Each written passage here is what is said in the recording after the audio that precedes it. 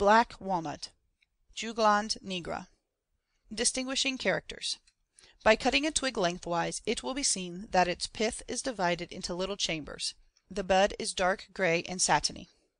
The bark is dark brown and deeply ridged and the fruit is the familiar round walnut.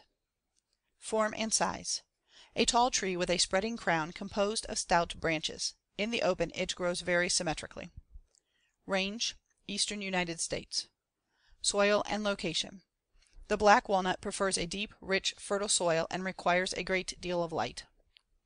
Enemies: The tree is a favorite of many caterpillars. Value for planting: It forms a beautiful spreading tree on open ground, but is not planted to any extent because it is hard to transplant. It grows slowly unless the soil is very deep and rich; develops its leaves late in the spring and sheds them early in the fall and produces its fruit in great profusion.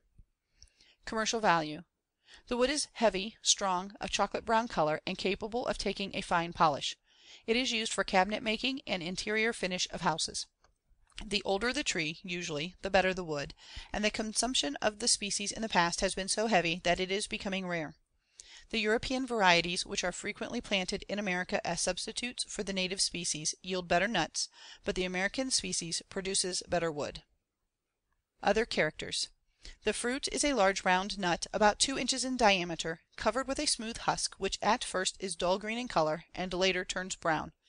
The husk does not separate into sections. The kernel is edible and produces an oil of commercial value. The leaves are compound and alternate with fifteen to twenty three leaflets each.